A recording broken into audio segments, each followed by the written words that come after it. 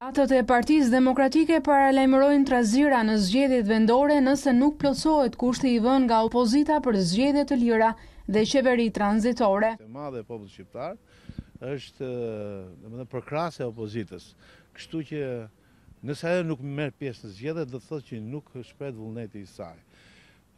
Mundet të ketë edhe natyrisht edhe si të thuash trazira po themi, sepse kjo ky kjo lloj Kjo lloj gjendje sjell padyshim dhe konflikte që mund të vijnë duke u agravuar me afrimin e datës së zgjedhjeve dhe akoma më shumë në datën e zgjedhjeve. Javën e ardhshme pritet që lideri i opozitës Lulzim Basha të nisë negociatat me partitë aleate për të dakordësuar marrëveshjen.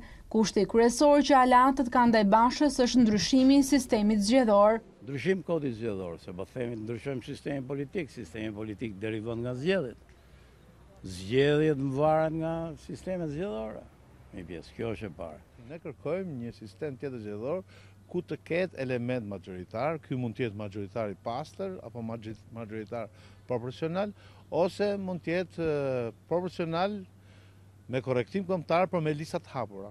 Por krahas ndryshimit të sistemit, platforma pritet të fokusohet edhe tek drejtësia dhe institucionet e pavarura.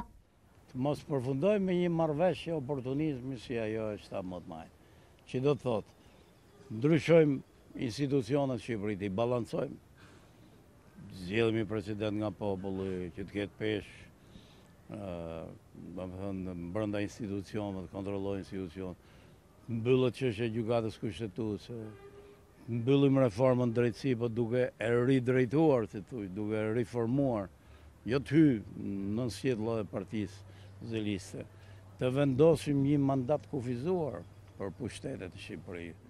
Një ditë më parë, Partia Demokratike vendosi të kushtëzojë hyrjen në zgjedhje me garantimin e një procesi të lirë dhe largimin e Edi Ramës nga detyra.